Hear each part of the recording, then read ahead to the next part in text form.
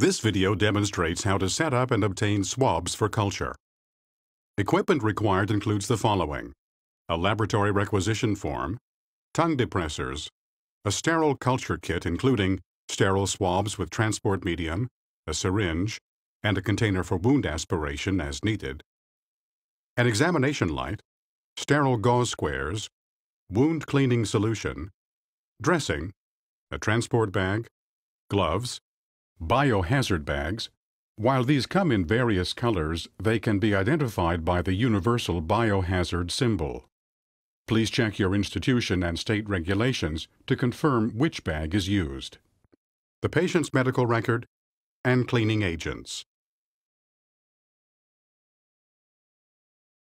Wash your hands, review the laboratory requisition form, and prepare the tray for the procedure. Put on gloves. Confirm the patient's details and explain the procedure.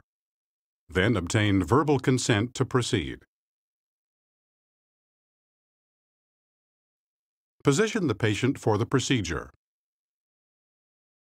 Open the sterile swab packaging carefully. Pick up the tongue depressor and the sterile swab. Ask the patient to open their mouth and say, ah.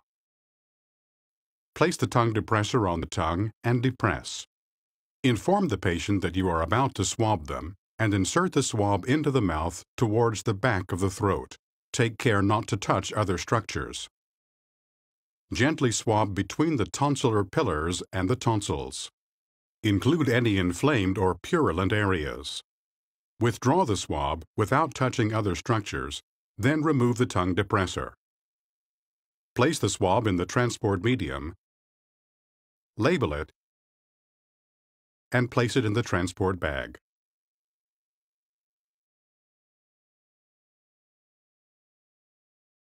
Remove and discard any dressing. Inspect the wound.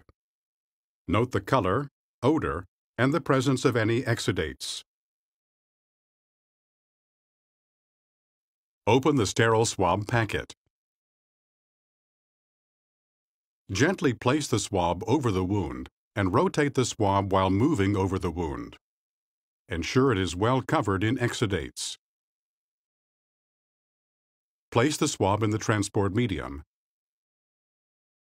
Label the container and place it in the transport bag.